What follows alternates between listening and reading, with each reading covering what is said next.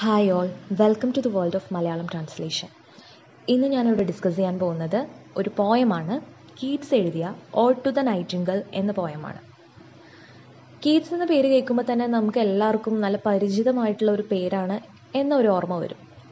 അതിന്റെ കൂടെ തന്നെ കൂട്ടിച്ചേർക്കുന്ന ഒരു പേര് കൂടെ നമുക്ക് ഓർമ്മ വരും ഷെല്ലി സെക്കൻഡ് ജനറേഷനിൽ പെട്ട മൂന്ന് കവികളിൽ രണ്ട് പേരാണ് കീറ്റ്സും ഷെല്ലിയും അവരുടെ കൂടെപ്പെട്ട് ഉള്ള ഒരാൾ ബൈറൺ.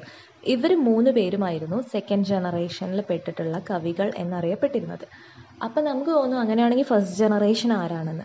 ഫസ്റ്റ് ജനറേഷൻ ഒരു ഡൗട്ടും ഇല്ല. വേർഡ്സ് വർത്തും കോളറിഡ്ജും തന്നെയാണ്.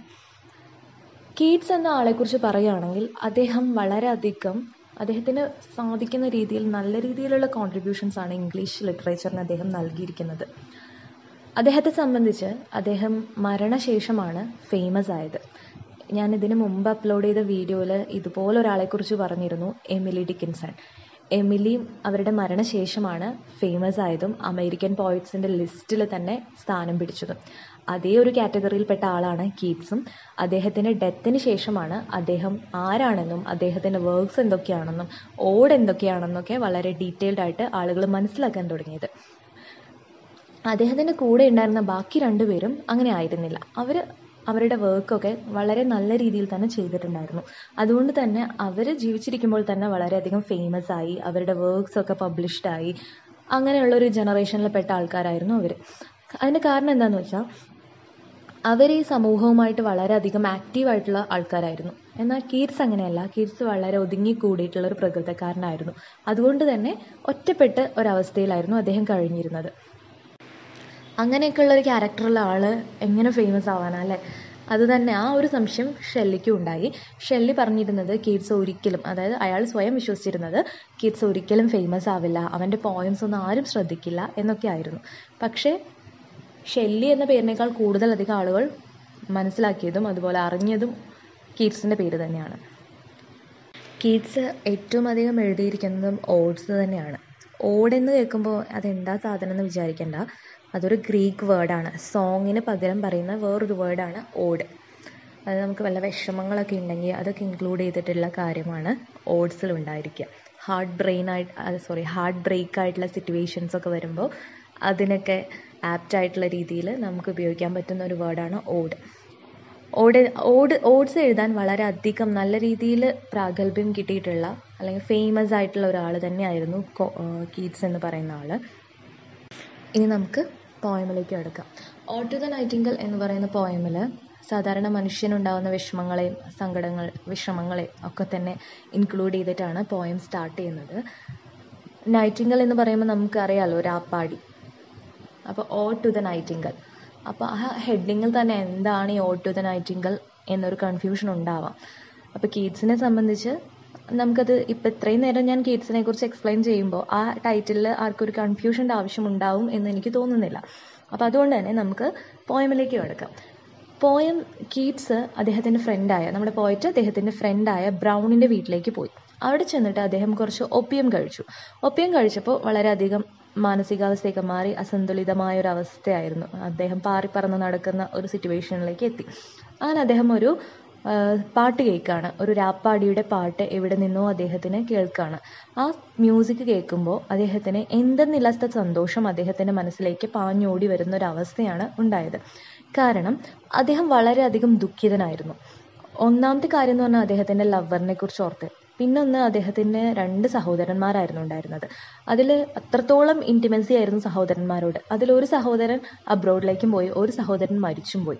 അപ്പോൾ അതുകൊണ്ട് തന്നെ ആകെ ഒറ്റപ്പെട്ടൊരു ജീവിതം തന്നെയായിരുന്നു അദ്ദേഹത്തിന്.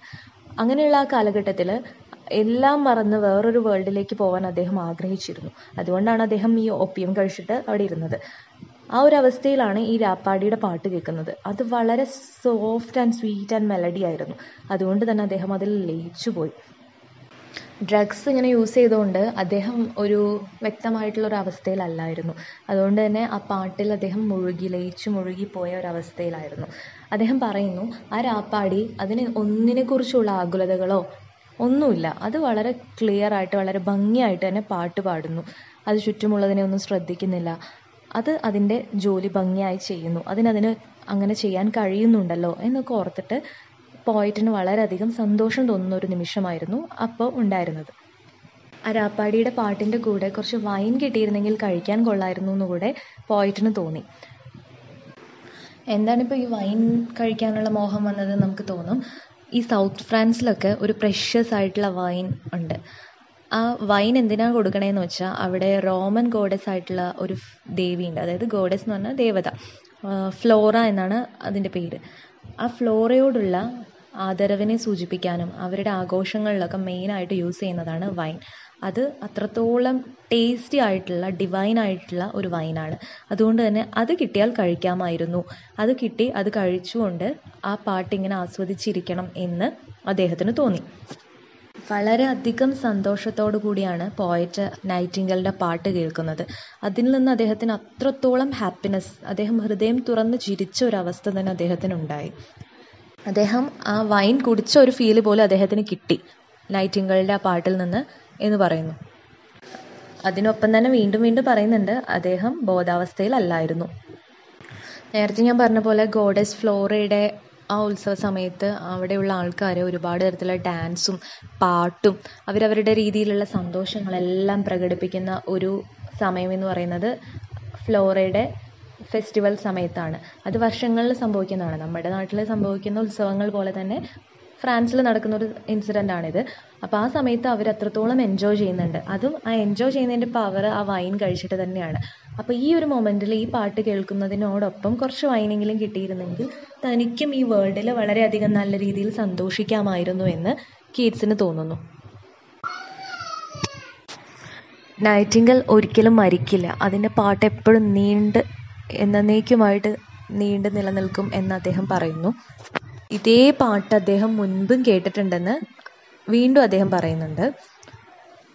പിന്നീട് അദ്ദേഹം പറയുന്നു അദ്ദേഹത്തിന് ഈ ലോകത്ത് നിന്ന് വിട പറയണം. അതും നൈറ്റിംഗിൽ പാടിക്കൊണ്ടിരിക്കുന്ന സമയത്ത് വേണം അദ്ദേഹത്തിന് ഈ ലോകത്ത് നിന്ന് വിട പറയാൻ. എന്നിട്ട് നൈറ്റിംഗലിന്റെ ലോകത്തിലേക്ക് അദ്ദേഹത്തിന് എത്തണം എന്ന് അദ്ദേഹം ആഗ്രഹിക്കുന്നു. ഇന്നത്തെ ഈ ലോകത്തുള്ള എല്ലാ പെയിനും മോർട്ടലാണ് നമുക്കൊക്കെ എല്ലാം ഉണ്ട് എന്ന് പറയുമ്പോഴും അതിനെല്ലാത്തിലും ഒരു അവസാനം ഒരു എൻഡ് എല്ലാത്തിലും ഉണ്ട്. എല്ലാം നമുക്കുണ്ട് പക്ഷെ എങ്കിൽ പോലും അതിനൊരു അവസാനമുണ്ട്. നമുക്ക് ജീവിതമുണ്ട് പക്ഷെ അതിനൊരു അവസാനമുണ്ട്. എന്നിട്ട് അദ്ദേഹം പറയുന്നുണ്ട് നൈറ്റിംഗലിനോട് അവിടെ നിന്ന് പോവാൻ. എന്തിനാന്ന് വെച്ചാൽ അവൾ അവിടുന്ന് അതായത് ആ നൈറ്റിംഗൽ അവിടുന്ന് പറന്നു പോയാലല്ലേ അദ്ദേഹത്തിന് അതിനെ ഫോളോ ചെയ്യാൻ പറ്റുള്ളൂ. എന്നിട്ട് അദ്ദേഹം പറയുന്നുണ്ട് ഞാൻ എന്റെ പോയമിലൂടെ നിന്നെ ഞാൻ ഫോളോ ചെയ്യും. അങ്ങനെയാണെങ്കിൽ എനിക്ക് എപ്പോഴും നിന്റെ സൗണ്ട് ശബ്ദ മാധുര്യം ആസ്വദിക്കാമല്ലോ. അതിനുശേഷം പോയിട്ട് നൈറ്റിംഗലിനോട് പറയുന്നു നീ ഒരിക്കലും മരിക്കില്ല. നിനക്ക് മരണമില്ല. മരിക്കാൻ വേണ്ടി ജനിച്ച ഒന്നല്ല നീ എന്ന് അദ്ദേഹം പറയുന്നു. പിന്നെ പറയുന്നുണ്ട് ചെറുപ്പകാലത്ത് മുതൽ കേട്ട് മടുത്ത അല്ലെങ്കിൽ കേട്ട് ആസ്വദിച്ചിട്ടുള്ള ഒരു ശബ്ദമാണ് നൈറ്റിംഗലിന്റെ ഏഷ്യൻ എംബറേഴ്സ് കേട്ടിട്ടുണ്ട് ഈ സൗണ്ട്. ബൈബിളിൽ പറയുന്നുണ്ട് കാരണം അത്രയ്ക്ക് മനോഹരമാണ് ആ നൈറ്റിംഗലിന്റെ സൗണ്ട്. മനുഷ്യവംശം മുഴുവൻ അത് ആസ്വദിക്കുമെന്ന് കവി പറയുന്നു. പിന്നീട് അദ്ദേഹം പെട്ടെന്ന് സങ്കടപ്പെടുകയാണ്. കാരണം നൈറ്റിംഗിൾ അവിടുന്ന് പറന്നുപോയി. സോ അദ്ദേഹത്തിന് അതിന്റെ ശബ്ദം കേൾക്കാൻ സാധിക്കുന്നില്ല. അതുകൊണ്ട് അദ്ദേഹം വളരെയധികം സങ്കടപ്പെട്ടിരിക്കുകയാണ്. അദ്ദേഹം വീണ്ടും വീണ്ടും കാതോർത്ത് നോക്കി. മ്യൂസിക് കേൾക്കുന്നുണ്ടോ എന്ന് പറ്റുന്നില്ല. ആ മ്യൂസിക് കേട്ട സമയത്ത് അദ്ദേഹം വേറൊരു വേൾഡിലായിരുന്നു എന്നാണ് ഇവിടെ പറയുന്നത്. പക്ഷെ നമ്മൾ ആദ്യം പറഞ്ഞിരുന്നു അദ്ദേഹം ഒപ്പിയം കഴിച്ചിട്ടുണ്ടായിരുന്നു എന്ന്. അപ്പോൾ ഒപ്പിയത്തിന്റെ അഡിക്ഷനിൽ അദ്ദേഹം വേറൊരു വേൾഡിലേക്ക് പോയതാണ്. ആ പോയ സമയത്തുള്ള ഇമാജിനറി ആയിട്ട് വന്നതാണ് ഈ നൈറ്റിംഗൽ എന്നുകൂടെ വേറൊരു സൈഡ് കൂടെ ഈ പോയമിനുണ്ട് അത് ഈ പോയമിന്റെ അവസാനം പറയുന്നുണ്ട് ഞാൻ ഉറങ്ങുമായിരുന്നു അതുകൊണ്ട് തന്നെ എല്ലാം ഒരു ഇമാജിനേഷൻ ആയിരുന്നു. അദ്ദേഹം സ്വയം ചോദിക്കുകയാണ് ഞാൻ ഉറങ്ങുമായിരുന്നോ അല്ലെങ്കിൽ ഉണർന്നിരിക്കുകയായിരുന്നോ. നൈറ്റിംഗൽ ഉണ്ടായിരുന്നോ. ഇമേജ് അതൊക്കെ ഒരു ഇമാജിനേഷൻ ആയിരുന്നോ എന്നൊക്കെ അദ്ദേഹത്തിന് തോന്നുകയാണ്. നമ്മൾ മനസ്സിലാക്കേണ്ട കാര്യം ഇത് തന്നെയാണ്. അദ്ദേഹം ഇമാജിൻ ചെയ്തതാണ് എല്ലാം. അദ്ദേഹത്തിന്റെ വിഷമങ്ങളെല്ലാം മറക്കാൻ വേണ്ടിയിട്ട് അദ്ദേഹം തന്നെ ക്രിയേറ്റ് ചെയ്തിട്ടുള്ള ഒരു എലമെന്റാണ് ഈരാപ്പാടിയുടെ രാപ്പാടിയുടെ സോങ് അതിൽ അദ്ദേഹം ലയിച്ചു പോയി അദ്ദേഹത്തിന്റെ എല്ലാ വിഷമങ്ങളും കുറച്ച് നേരത്തേക്ക് മാറ്റിവെക്കാൻ അദ്ദേഹത്തിന് കഴിഞ്ഞു.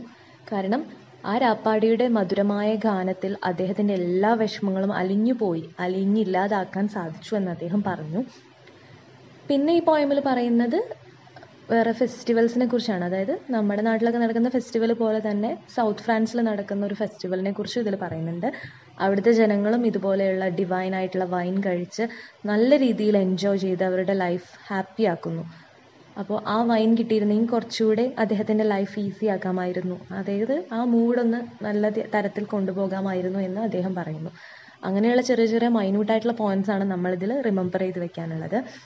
അത്രത്തോളം ഒരു ബെസ്റ്റ് ആയിട്ടുള്ള ഒരു ഓട് തന്നെയാണ് ode to the nightingale ode to the nightingale എന്ന പോയമിന്റെ സമ്മറി ഇവിടെ